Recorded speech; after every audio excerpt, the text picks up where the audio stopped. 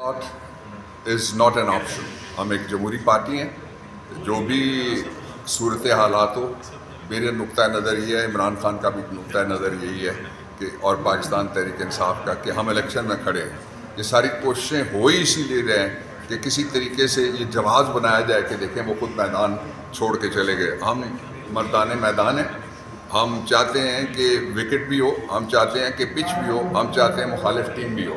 जहाँ पिच उखाड़ दी गई है विकेट उठा के लोग भाग गए बल्ला हमसे छीन लिया गया है। और अब वो कहते हैं कि बेयर फुटेड बेयर हैंडेड आप लड़ें, इसके बावजूद हम इस इलेक्शन में से बिल्कुल भी नहीं निकलेंगे और पाकिस्तान तहरीक इंसाफ खड़ी है। पाकिस्तान की तारीख में पहली दफ़ा हुआ है ऐसा कि आइन का आर्टिकल जो सत्रह दो है, वो रिटर्नेंट हो गया है। पाकिस्तान की सबसे बड़ी बड़ी पॉलिटिकल पार्टी जो है, वो आइन और कानून की वजह से नहीं, बल्कि टेक्निकलिटी की वजह से वो इलेक्शन सैम्बल से मारूम हुई है। और उसके नतीजे में जो पॉलिटिकल पार्टी की बात नहीं है सिर्फ़, ये कॉन्स्टिट्यूशन और उसकी सुप्रमेसी की बात है। आइन का आर्टिकल सत्रह दो ये कहता है कि सिर्फ़ कोई ऐसी जो इंटेग्रिटी और सॉलिडरिटी के ख़िलाफ़ कोई काम किया हो किसी पार्टी ने तो उसके ख़िलाफ़ भी एक रेफरेंस भेजा जाएगा। तो ये बड़ा बदकिस्मती की बात है कि इस वक्त जो आपने देखा किस तरह से इलेक्शन कमीशन ने जो निशानात रखे हैं, वो भी आइन के आर्टिकल 14 की खिलाफ वर्जी करते हैं। बड़े तोहन आमेज़, किसी जगह बैंगन है, किसी जगह जूता है। ये जो लोग रिप्रेजेंट करने के लिए लोगों को आ रहे हैं अल्टीमेट सॉवरन है। वोटर उनको रिप्रेजेंट करने के लिए जो आ रहे हैं, उनको, उनके लिए जो निशानात चुने गए वो आप देख लें। उसकी जगह कोई ऑनरेबल निशानात भी रखे जा सकते थे।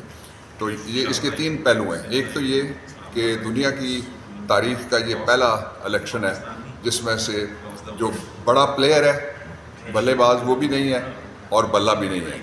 दूसरे ये कि वोटर्स को सज़ा दी जा रही है और जो इलेक्शन लड़ने के ख्वाहिशमंद थे, उनको सज़ा दी गई। और एक बिल्ली चूहे का खेल पूरे पाकिस्तान में चल रहा है। ये जो आने वाली पार्लियामेंट है, आप याद रख लीजिएगा, ये दो महीने भी नहीं चल सकती। ज़बरदस्ती के बिठाए हुए लोग, उनको लोग कबूल नहीं करेंगे।